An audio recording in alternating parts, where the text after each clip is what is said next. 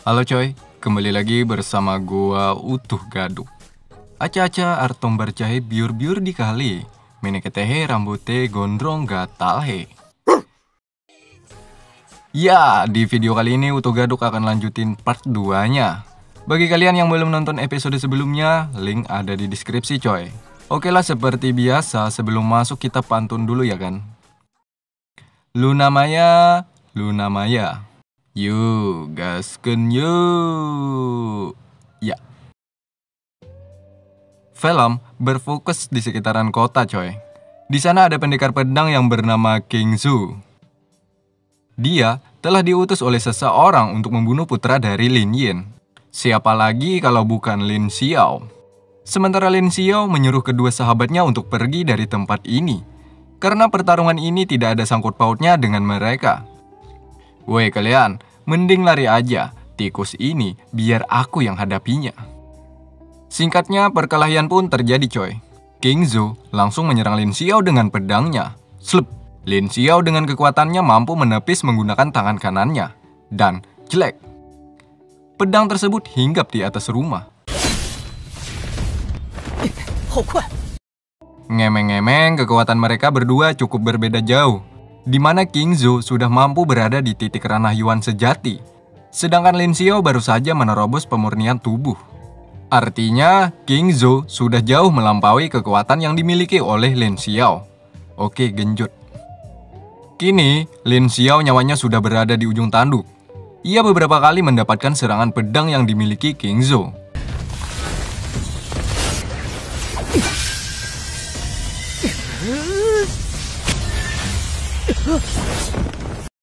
Saat itu juga, dengan bantuan kipas, ia beberapa kali menepis setiap serangan dari lawannya. Karena terlalu banyak mendapatkan serangan dari berbagai arah, membuatnya tak mampu lagi menghindar. Lin Xiao kala itu mendapatkan serangan dari arah tak terduga. Ceret. Hal tersebut membuat Lin tak berkutik lagi. Saat ini, Lin Xiao tak ada harapan lagi untuk hidup. Nyawanya sudah berada di ujung tanduk di mana pedang milik King Zhu sudah siap menembus wajahnya. Dan...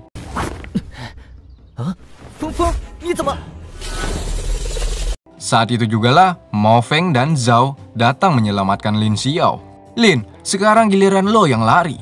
Cepetan anjing lari. Akhirnya Lin pun lari untuk menyelamatkan diri. Atas perbuatan mereka itu, Zhao harus mendapatkan tendangan keras karena dirinya mencoba untuk menghentikan langkah King. Bahkan setelahnya, Zhao seperti tak ada harga dirinya lagi coy. Di mana kepalanya diinjak oleh kaki King yang sebelumnya nginjak kotoran sapi. Sorry coy, barusan tadi aku nggak sengaja nginjak kotoran sapi. Woi bau. Selain itu, Mo Feng juga mendapatkan serangan pedang milik King. Nah, di sini hal mengejutkan terjadi coy. Lin Xiao rupanya datang lagi ke tempat ini. Kini giliran Lin Xiao untuk membalas budi kepada kedua sahabatnya.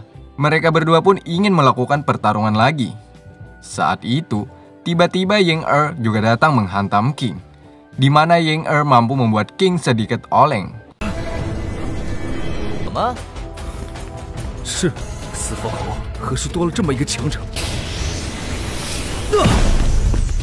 Ying Er dikenal sebagai gadis polos coy, namun memiliki kekuatan di atas rata-rata. Tanpa melihat, ia mampu menepis serangan dari King. Rupanya Ying Er setelah Mimin puji, tingkahnya semakin sembrono. Di mana dirinya seperti kerasukan seekor banting milik Megawati coy.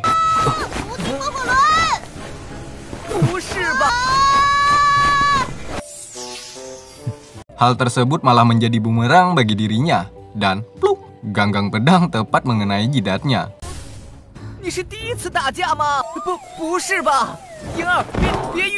Kini semuanya sudah pingsan, hanya tinggal Lin yang masih sadar. Bullshit, hanya tinggal Akyu yang tersisa. Mau tidak mau Lin Xiao harus tetap melawan musuhnya tersebut. Sesaat King ingin menghabisi Lin, secara tiba-tiba kekuatan teleportasi datang. Kekuatan tersebut membutuhkan beberapa waktu agar bisa bekerja maksimal coy. Lin pun mencoba untuk mengajak King berbicara sampai waktunya tiba. Matilah kau anjing. Tunggu dulu coy. Aku belum nikah. Dan tibalah waktu yang ditunggu-tunggu. Berkat kekuatan teleportasi mereka semua menghilang. Sementara serangan dari Lin hanya mengenai bayangan Lin Xiao. Scene kemudian berpindah, tepatnya di rumah keluarga Lin. Rupanya kekuatan teleportasi datang dari Liu Xi yang menyelamatkan mereka sebelumnya. Meski sudah diselamatkan, Lin Xiao masih merasa kesal terhadap Liu Xi. Karena di mana kekuatan teleportasi yang dimiliki oleh Liu Xi sedikit lebih lamban, coy. Yap, hal itu hampir saja membuat Lin Xiao mati di tangan King Zhou. Kedatangan Liu Xi ke sini untuk mengajak Lin Xiao untuk membicarakan kerjasama, alias Liu Xi ingin bergabung dengan keluarga Lin. Ya, sekali lagi, Lin menolak coy. Selain itu, karena merasa Lin telah berhutang budi atas kejadian tadi, Liu Xi sempat mengancamnya. Namun, Lin Xiao bukanlah orang yang suka digertak-gertak. Hal tersebut membuat Lin tinggi darah, dan ia mengangkat juga ingin menjatuhkan Liu Xi ke sungai. Untung saja Lin Yen datang menolong Liu Xi. Di sini Lin Xiao mendapatkan sedikit serangan dari ayahnya. Ceret. Atas hal ini, membuat ayahnya marah kepada Lin. Seakan-akan Lin orang yang paling bersalah. Bahkan, ayahnya tak segan menyuruh Liu Xi untuk menghajar anaknya tersebut. Singkatnya, Lin Yin sekali lagi meminta maaf kepada Liu Xi atas kelakuan putranya tadi.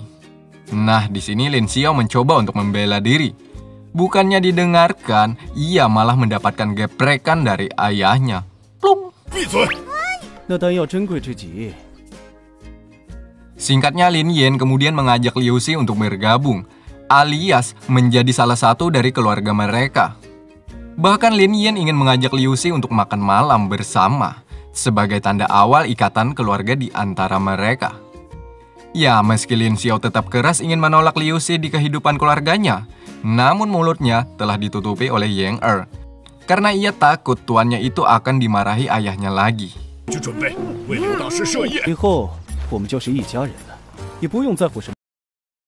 Malam harinya, Ying Er mencoba menghalangi mereka bertiga yang rencananya ingin pergi ke rumah bordel. Di mana Ying Er khawatir, setiap perjalanan Lin Xiao selalu mendapatkan sebuah masalah. Hal itulah alasan terbesar Ying menyuruh tuannya agar tetap di rumah saja. Namanya juga Lin Xiao coy, ia tetap keras kepala. Lin dan kedua sahabatnya tetap ingin berangkat ke rumah bordil untuk menemui seseorang yang bernama Nona Xian. Singkatnya mereka bertiga sudah berada di rumah bordil. Di sini mereka bertemu dengan pemilik tempat ini. Dia bernama Bibi Ki. Lin menanyakan keberadaan Nona Xian. Kebetulan sekali malam ini dia sedang op coy. Bibi Ki mencoba mencarikan wanita pengganti untuk menemani malam mereka. Wanita ini bernama Shinsu. Meski memiliki karisma yang begitu, eh, hal tersebut tak membuat Lin jatuh hati kepadanya. Lin malah menyuruh wanita itu untuk pergi saja dari pandangan mereka. Bahkan Lin mengeluarkan kata-kata yang menyinggung dirinya. Woi Jablay, maaf nih ya, wanita sepertimu bukan seleraku. Liu Gu namanya, setelah mendengar perkataan Lin Xiao seperti itu, ia mendatanginya. Namun lihatlah apa yang terjadi. Liu Gu malah terlempar atas serangan Lin Xiao.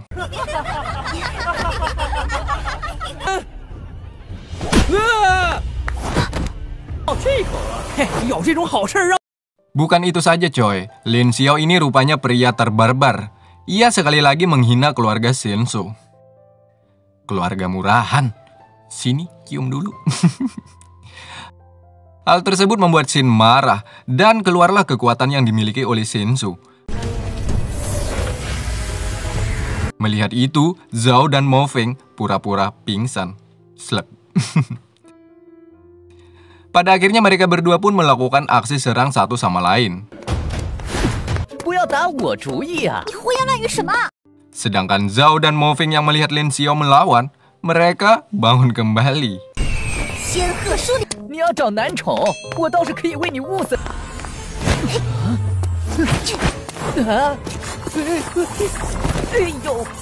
Lin Xiao kemudian mengeluarkan kekuatannya dengan menghadirkan seekor naga. Dan, di mana kedua tangannya tepat menempel kedua belah gunung milik Senso, coy.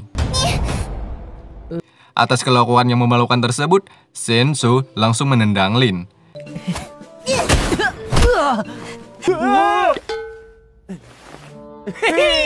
Dan ia pergi ke arah luar sambil menangis akibat perbuatan cabul yang dilakukan Lin terhadapnya.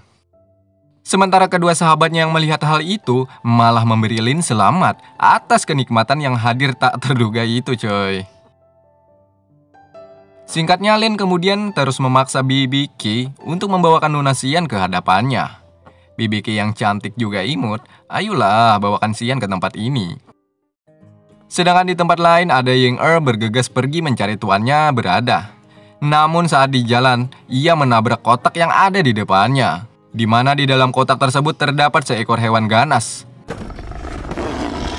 Dengan kekuatannya, Ying Er menjinakkan hewan tersebut. Ah,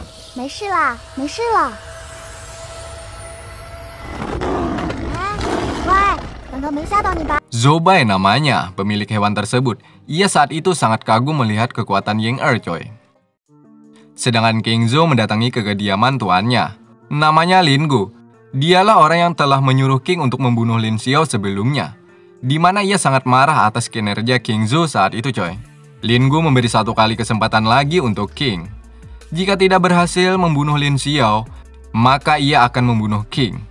Tujuan Lin Gu menghabisi Lin Xiao agar nantinya bisa menguasai kota ini coy. Dengan itu, Lin Yin pasti berada di bawah kendalinya. Oke, genjot. Kembali ke rumah bordil. Di sini, Lin dan kedua sahabatnya makan-makan sambil menunggu kedatangan Nona Sian. Tak lama dari itu, datanglah Nona Sian, coy. Nona Sian dikenal memiliki kekuatan susuk emas, di mana setiap pria yang didekatinya pasti akan jatuh cinta. Lin hampir saja terkena rayuannya tersebut. Di mana di balik itu semua, Nona Sian rupanya memiliki tujuan jahat kepada Lin, coy. Ketika hampir larut dalam kemesraan, Nona Sian melanjutkan aksinya untuk membunuh Lin. Namun dengan kecepatannya, Lin mampu menepis serangan dari wanita ini.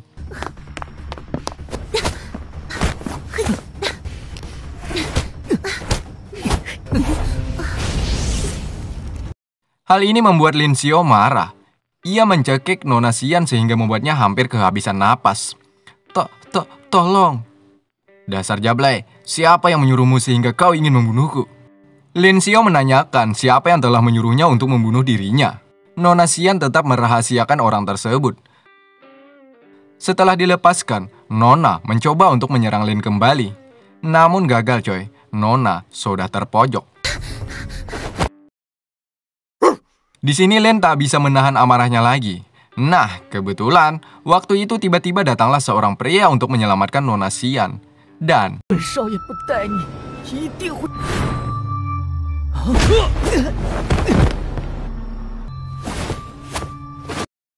Sin pun berpindah, tepatnya di keberadaan Ying Er, di mana ia ingin cepat-cepat mendatangi ke tempat tuannya, karena Ying Er merasa tuannya berada dalam masalah besar.